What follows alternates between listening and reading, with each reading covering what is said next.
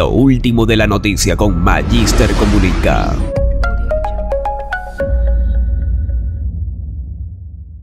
Hola, hola, ¿qué tal mi gente? ¿Cómo están? Bienvenidos una vez más a tu canal de noticias Magister Comunica. Seguimos informándote por una Venezuela libre. Atención, noticia de última hora. No te pierdas esta buena, histórica noticia. Hagámosla viral. Karim Khan anunció que la CPI avanzará a la fase de investigación sobre crímenes en Venezuela. El fiscal Karim Khan en su tercer y último día en Venezuela presentó sus consideraciones sobre el caso de estudio que tiene el país en la Corte Penal Internacional.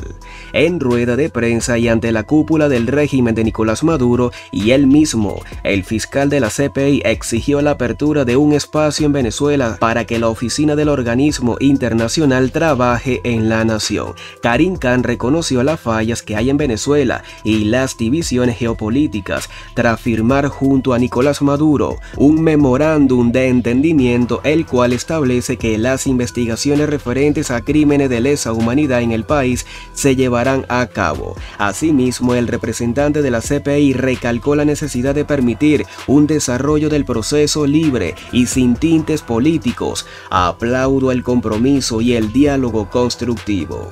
Así lo expresó Karim Khan, además de acotar que su oficina trabaja bajo el Estatuto de Roma. Cualquier persona justa debería aplaudir y trabajar con todos aquellos que desean enarbolar la bandera de la justicia. Así lo dijo Khan tras agradecer por la invitación que se extiende a una próxima oportunidad. Esperando que los graves crímenes que preocupan a la comunidad internacional no deben quedar impunes y que deben garantizarse su efectiva persecución, incluso mediante la adopción de medidas a nivel nacional y el fortalecimiento de la cooperación internacional considerando que el fiscal de la Corte Penal Internacional ha concluido el examen preliminar de la situación en Venezuela 1 y ha determinado que procede a abrir una investigación para establecer la verdad de conformidad con el Estatuto de Roma. I applaud the engagement, Yo aplaudo el compromiso the constructive dialogue, y el diálogo constructivo.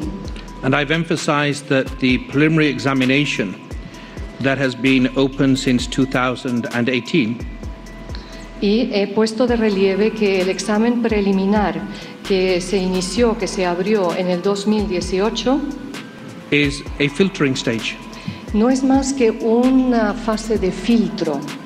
As we move into this new stage, A medida que avanzamos por este nuevo camino, entramos en una nueva fase, I am really pleased me siento de sobremanera complacido that by way of the letters we have just signed, que a través de las cartas que acabamos de firmar, we are committed to working collaboratively estamos comprometidos profundamente a trabajar de forma colaborativa, independently, independiente, but with full regard to the principle of positive complementarity.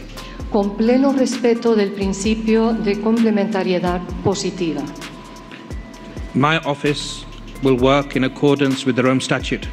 Mi despacho siempre trabajará de conformidad con el Estatuto de Roma. I am fully aware of the fault lines that exist in Venezuela Soy plenamente consciente de las fallas que atraviesan y existen en Venezuela, the geopolitical divisions that exist. las divisiones geopolíticas, es decir, We are not political. nosotros no somos políticos. We are guided by the principles of legality Nos guían los principios de legalidad and the rule of law. y el Estado de Derecho. And I ask everybody now, Y les pediré a todos ahora, en este momento, as we move forward a medida que avanzamos to this new stage, a esta nueva fase, to give my office que den a mi despacho, a mi oficina, the space to do its work. el espacio necesario para llevar a cabo su trabajo.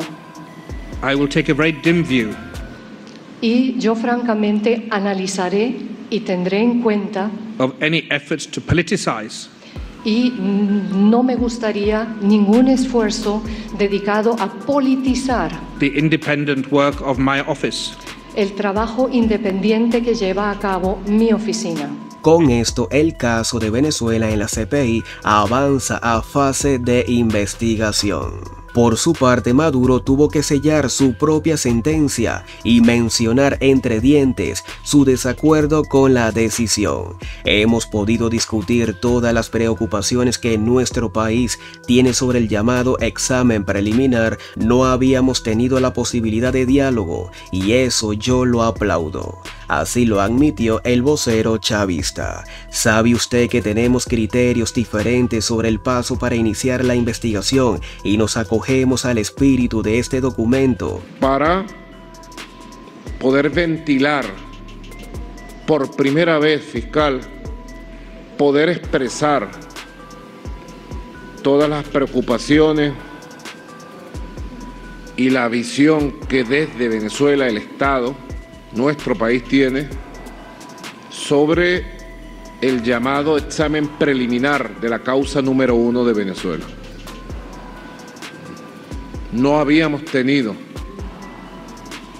las posibilidades de un diálogo interactivo, efectivo, como el que hemos tenido en estos tres días. ¿Mm? Y yo aplaudo y agradezco esa oportunidad y esa posibilidad. Hemos llegado a un acuerdo que se explica por sí mismo. Es un acuerdo que expresa la síntesis de esta jornada que han sido un paso de avance en las relaciones de complementariedad positiva y cooperación entre el Estado venezolano, nuestra República, bolivariana y la Fiscalía de la Corte Penal de La Haya. ¿Mm? Hay diferencias de criterio sobre lo que sucedió en el llamado examen preliminar. Ya nosotros expresamos parte de esas diferencias en el recurso que el Estado venezolano introdujo ¿Mm? Ante la sala de cuestiones preliminares ya ha conocido su decisión. ¿Mm? Y hemos sido francos y directos en afirmar que la llamada fase de examen preliminar no le permitió al Estado venezolano conocer la documentación y el contenido que se evaluaba en el examen preliminar. Respetamos su decisión como Estado, aunque le hemos manifestado que no la compartimos. Estuvimos ciegos en esa etapa. El apoyo mutuo, el diálogo constructivo para buscar la verdad y la justicia entre el Estado venezolano y sus instituciones y la Fiscalía de la Corte Penal Internacional. Yo le puedo decir, fiscal, que Venezuela garantiza la justicia. Venezuela garantiza la justicia. Se emocionaron. Le garantizo que para esta etapa que vamos a vivir, dejamos los ruidos de lado y nos empeñamos en trabajar en el cumplimiento de este acuerdo entre las partes para que pueda encontrarse la verdad. ¿Sabe usted que teníamos criterios diferentes? Tenemos criterios diferentes sobre el paso de iniciar la investigación.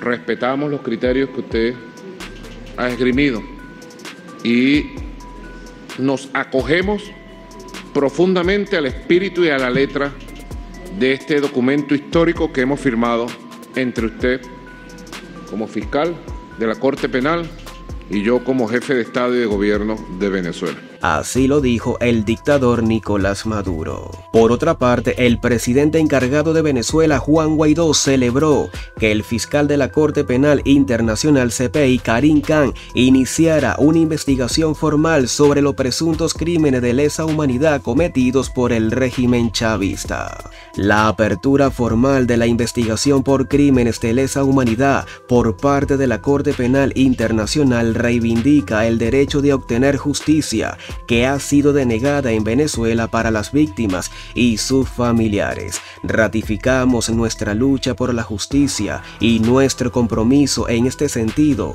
colaborar con todas las investigaciones que contribuyan a la determinación de la verdad y al establecimiento de responsabilidades penales individuales en toda la cadena de mando. Así lo sentenció Juan Guaidó. Pero Narco Diosdado Cabello, muy preocupado, se pronunció sobre el inicio de la fase de investigación de la Corte Penal Internacional CPI. Nosotros nos encargaremos de nuestra defensa ante la CPI y la Fiscalía porque tenemos todo el derecho a que se revise la decisión porque creemos que la fase preliminar no se ha cumplido. Así lo dijo Diosdado Cabello en su show televisivo a sus rivales políticos y a las víctimas que reclaman justicia. Les dijo lo siguiente.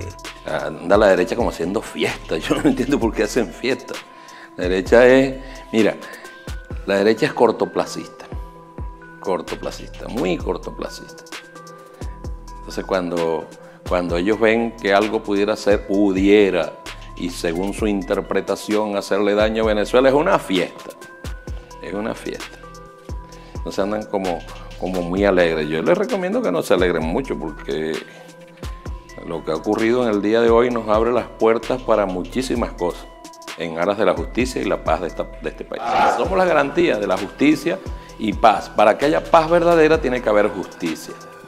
Tiene que haber justicia. Aprovecho esto para comentar un poco ¿no? sobre la propuesta y la firma de un memorándum de entendimiento entre la República Bolivariana de Venezuela y la Fiscalía de la Corte Penal Internacional y los antecedentes de todo esto, ¿no? Y estamos más que seguros y convencidos que Venezuela saldrá favorecida, que Venezuela saldrá fortalecida, muy fortalecida de esto. Porque si alguien ha sido garante del respeto a los derechos humanos, hemos sido nosotros.